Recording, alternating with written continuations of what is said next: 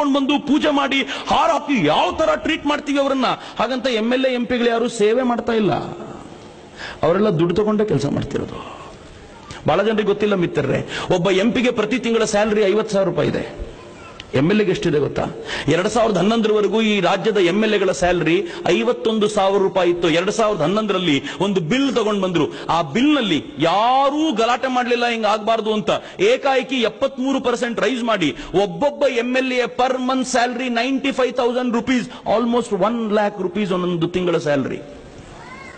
ಒಂದು ಲಕ್ಷ ರೂಪಾಯಿ ಸ್ಯಾಲರಿ ತೆಗೆದುಕೊಳ್ಳುವಂತ ಒಬ್ಬ ಎಂ ಎಲ್ ಎ ಬೆಂಗಳೂರಿಗೆ ಹೋಗಿ ಅಧಿವೇಶನದಲ್ಲಿ ಕೂತ್ಕೊಳ್ಬೇಕು ಅಂತಾನೆ ಪರ್ ಡೇ ಬಹುಶಃ ಎರಡು ಸಾವಿರ ರೂಪಾಯಿ ಎಂಪಿಗಂತೂ ಎರಡು ಸಾವಿರ ರೂಪಾಯಿ ಕೊಡ್ತಾರೆ. ಎಂ ಎಲ್ ಎಗೂ ಅಷ್ಟೇ ಕೊಡ್ಲಿಕ್ಕೆ ಸಾಕು. ಎರಡು ಸಾವಿರ ರೂಪಾಯಿ ಬೆಂಗಳೂರಿಗೆ ಬಂದು ನೀನಲ್ಲಿ ಕೂತ್ಕೊಳ್ತೀಯ ಅನ್ನೋ ಅಟೆಂಡೆನ್ಸ್ ಆಗ್ತೀಯ ಅನ್ನೋ ಕಾರಣಕ್ಕೆ ಎರಡು ಸಾವಿರ ರೂಪಾಯಿ ಪರ್ ಡೇ ಕೊಡ್ತಾರೆ.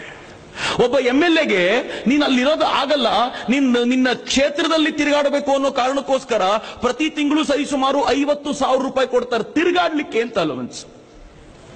ಒಬ್ಬ ಎಂ ಎಲ್ ಎಗೆ ಆತನಿಗೆ ಆಫೀಸ್ ಮೇಂಟೈನ್ ಮಾಡ್ಕೊಳ್ಳಿಕ್ಕೆ ಅಂತ ಆಫೀಸ್ನಲ್ಲಿ ಕೆಲಸಗಾರರು ಅಂತ ನಲವತ್ತೈದು ಸಾವಿರ ರೂಪಾಯಿ ಕೊಡ್ತಾರೆ. ಎಂ ಎಲ್ ಎಗೂ ಒಟ್ಟೆ ಎಂಪಿಗೂ ಒಟ್ಟೆ ಒಬ್ಬ ಎಂ ಎಲ್ ಎಗೆ ತನ್ನ ಆಫೀಸ್ನಲ್ಲಿ ಪೇಪರು, ಪೆನ್ನು, ಇಂಕು, ಪ್ರಿಂಟರು ಅಂತ ಹೇಳಿ ಪ್ರತಿ ತಿಂಗಳು ಹದಿನೈದು ಸಾವಿರ ರೂಪಾಯಿ ಕೊಡ್ತಾರೆ. ಎಂ ಪಿ ಆದ್ರೆ ಅವನು ಡೆಲ್ಲಿಗೆ ಹೋಗಬೇಕು ಅಂತ ಡೆಲ್ಲಿಯ ಏರ್ ಫೇರ್ ಮೂವತ್ನಾಲ್ಕು ವಿಮಾನದ ಟಿಕೆಟ್ಗಳನ್ನ ವರ್ಷಕ್ಕೆ ಕೊಡ್ತಾರೆ ಅವನಿಗೆ. ಅವನ ಹೆಂಡತಿ ಮಕ್ಕಳಿಗೆ ಎಂಟು ಟಿಕೆಟ್ನ ಡೆಲ್ಲಿಗೋಸ್ಕರ ಕೊಡ್ತಾರೆ. ಒಬ್ಬ ಎಂ ಪಿ ಆದ್ರೆ ಅವನು ಇಡೀ ದೇಶದಲ್ಲಿ ಎಲ್ಲಿ ಬೇಕಿದ್ರು ಫಸ್ಟ್ ಕ್ಲಾಸ್ ಟ್ರೈನ್ ಅಲ್ಲಿ ತಿರುಗಾಡ್ಲಿಕ್ಕೆ ಬೇಕಾಗಿರುವಂತ ಎಲ್ಲ ವ್ಯವಸ್ಥೆಯನ್ನು ಉಚಿತವಾಗಿ ಮಾಡಿಕೊಡ್ಲಾಗುತ್ತೆ. ಒಬ್ಬ ಎಂ ಪಿಯ ಮನೆಗೆ ಕರೆಂಟ್ ಫ್ರೀ ಒಬ್ಬ ಎಂ ಪಿಯ ಮನೆಗೆ ನೀರು ಫ್ರೀ ಒಬ್ಬ ಎಂ ಪಿಯ ಮನೆಗೆ ಫರ್ನಿಚರ್ ಫ್ರೀ ಒಬ್ಬ ಎಂ ಪಿಯ ಮನೆಗೆ ಏನಾದರೂ ಸಮಸ್ಯೆ ಆದ್ರೆ ರಿಪೇರಿ ಕೂಡ ನಮ್ಮ ಟ್ಯಾಕ್ಸ್ ದುಡ್ಡಿನಲ್ಲಿ ಸರ್ಕಾರ ಮಾಡುತ್ತೆ.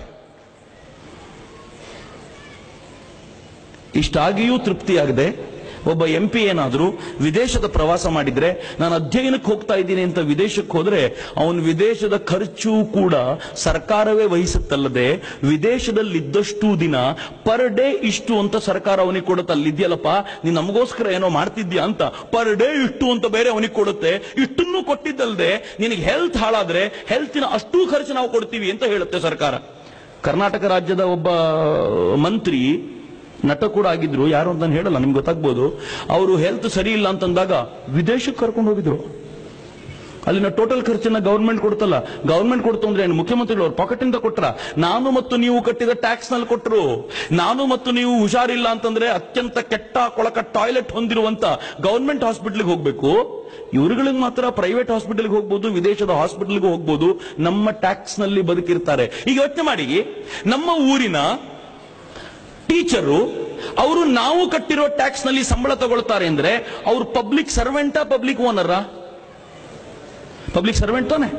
ನಮ್ಮೂರಿನ ಪೊಲೀಸರು ನಾವು ಕಟ್ಟಿರುವ ಟ್ಯಾಕ್ಸ್ನಲ್ಲಿ ಸಂಬಳ ತಗೊಳ್ತಾರೆ ಅಂದ್ರೆ ಪಬ್ಲಿಕ್ ಸರ್ವೆಂಟಾ, ಪಬ್ಲಿಕ್ ಓನರ?